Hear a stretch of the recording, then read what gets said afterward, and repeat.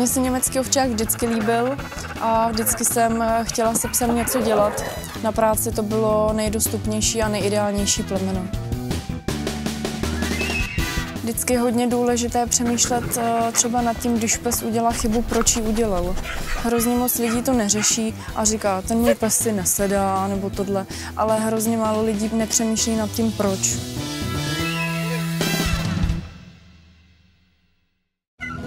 Karolína Kristová se už 12 let věnuje sportovní kinologii. Psy a jejich psovodi závodí v několika disciplínách, které prověřují poslušnost, bystrost a šikovnost i jejich společnou souhru. Je nutné určitě začít od štěněte. Pokud to člověk chce dělat závodně, pokud to člověk chce dělat vrcholově, začíná se od sedmého týdne koncentrací, nějakým vztahem k psovodu, takže čím dřív člověk začne, tím líp to štěňátko učíme, aby nám eh, žralo z ruky, pamlsek, krmení, eh, cokoliv. Eh, tím, že my si ho navádíme na pamlsek, tak pro psa je to příjemný, není to pro něho nic složitého. Ze začátku ani úplně nevnímá, co ten pejsek všechno dělá, ale jde o to, aby se učil pracovat s tělem, aby se učil pracovat s nohama, s hlavou, aby se učil zaklánět hlavičku. Takže ze začátku je to spíš všechno v hře a začíná se určitě poslušností a stopou. Stopou vlastně začínáme tak, že rozházíme pamlsky po zemi, potom vyšlapeme čtverec, do kterého naházíme pamlsky a pejsek si to vyhledává, aniž bychom mu my do toho mluvili nebo ho nějakým způsobem korigovali. Pes se potom učí jednotlivé cviky a povely. Začíná se chůzí u nohy. Postupně se přidávají polohy sedni, lehni a zůstaň, nebo nošení aportu. Velmi důležité je přivolání psa za jakýchkoliv okolností. Něco dává na intonaci, něco na samotný povel. Tomu psovi to i lehce rozlišujeme tím hlasem, je to jednodušší. Není to pravidlo, že to musíme dělat, ale jak jinak si pomoct, když potom člověk nemůže odměnit psa, nemůže na něho sahat, tak jedině tak učit ho i na hlas, na intonaci. Něco jsou krátký, znělý povely, něco naopak třeba protahnutý. Pro psa je to jednodušší a my si tím pomůžeme. Nejprofesionálnější kinologickou soutěží je tzv. Mezinárodní zkušební řád, neboli IPO. Hodnotí se zde několik disciplín. Práce s pachovou stopou, obrana před útočníkem a samozřejmě poslušnost. Poslušnost eh, se skládá z deseti cviků. Eh, je to chůze, Pes musí být u chůzy koncentrovaný na psovoda, musí celou dobu koukat a hodně důležité je, že musí mít radostný projev. Musí vrtět to, co se musí být na psovi na první pohled vidět, že ho to baví a že všechno dělá dobrovolně. To vlastně platí po celou dobu poslušnosti. Po chůzi následují odkládačky, Dělá se odložení v sedě, poté odložení v leže z poklusu s přivoláním a odložení ve stoje, ze kterého si taky pejska přivoláme. A potom následují tři aporty, jeden volný a dva přes překážku. Hop! Aport! Pojď, pojď, pojď, pojď, pojď, pojď. Pust! Gnozy! Při tréninku nejsou důležité jen bezchybně provedené úkoly. Psovod se především učí číst projevy chování svého psa. Podle těch totiž nejlépe pozná příčinu jednotlivých chyb tak vždycky je důležité, jak se ten pes chová, jak má uši, jak má ocas, jestli má ocas mezi nohama, nebo jestli má ocas nahoře, jestli je psychicky v pohodě a podle toho my už rozeznáváme situace, třeba proč ten pes tu chybu udělal. Jo, někdy je možné, že ten pes jenom cviku nerozumí, někdy uh, se může stát, že pes to prostě nechce dělat a my vždycky musíme přemýšlet nad tím, proč to ten pes neudělal. A je to třeba jenom tím, že my jdeme moc rychle, nebo naopak, že jdeme moc pomalu. Vždycky bychom měli nejdřív přemýšlet nad sebou a následně, proč ten tu, pes tu chybu udělal a podle toho samozřejmě cvik opravujeme.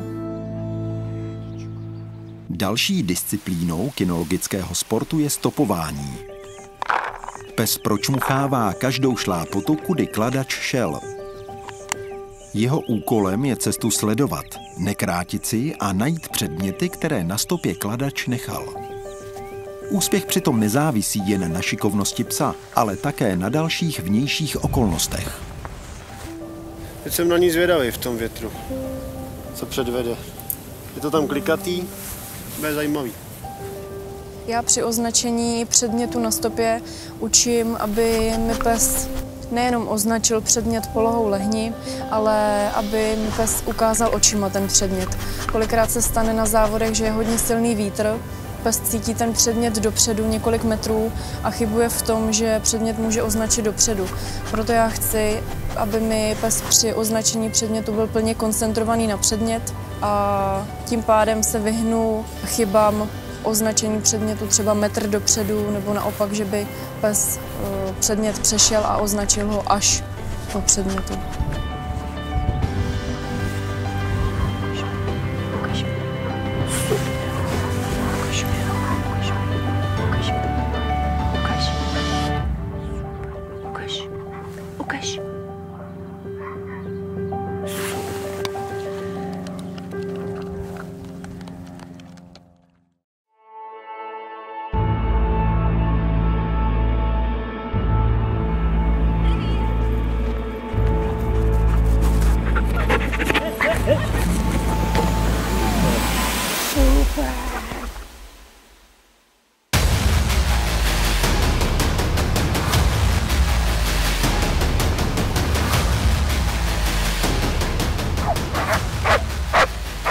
Třetí nedílnou součástí kinologických závodů je obrana. Pes by měl umět útočníka najít a hlídat, dokud k němu nepřijde psovod. Pouze pokud figurant projeví agresi nebo se pokusí utéct, pes má za úkol zastavit ho zákusem do rukávu.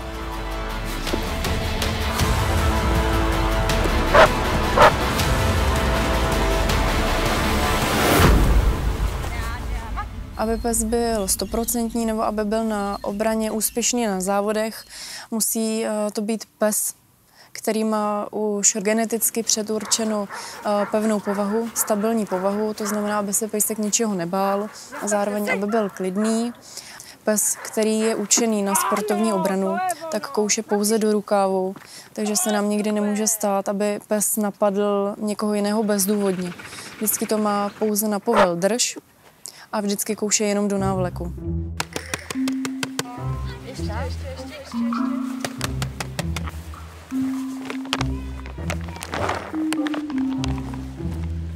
Strava je to nejdůležitější při výcviku. Pro nás je vlastně důležité, aby pes byl zdravý, fyzicky i psychicky a aby dostával kvalitní krmení. Pokud mám feny mimo závod, tak používám Fitman Maintenance. Pokud jsou přímo v závodní atmosféře, to znamená před závodem a v průběhu závodu, tak používám Fitman Performance.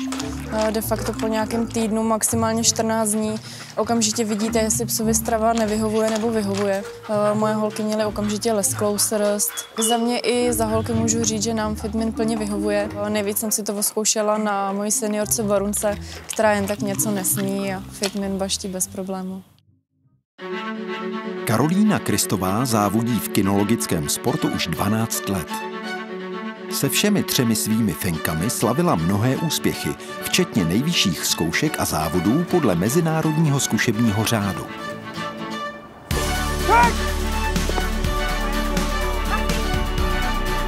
Závodit mě určitě baví. Závody hlavně ukážou vždycky člověku, kde má rezervy, nebo kde by měl třeba víc máknout a v jaké disciplíně.